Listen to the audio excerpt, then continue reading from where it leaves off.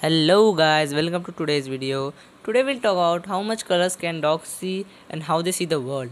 We as humans have trichromatic vision which means that we have three types of color sensing cone cells in our eyes but dog only possess two types of color sensing cone cells.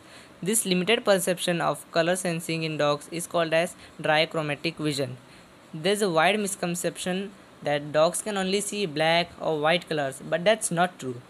Therefore, while trailing police dogs or other working dogs, props or toys with colors like yellow or blue are used as they are very catchy color for dogs.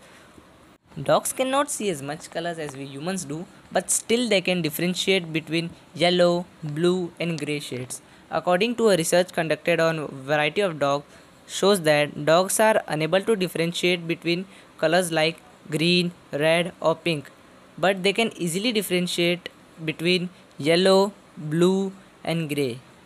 Dogs can see a low range of colors but their receptors are very strong than humans. They can see about 5 times better than us in the dark. That's why the eyes of dogs shine at night. They also have a wide range of vision as dogs have 250 degrees of vision while humans only have 90 degrees of vision. One more advantages of dogs is that they have more motion detection than humans.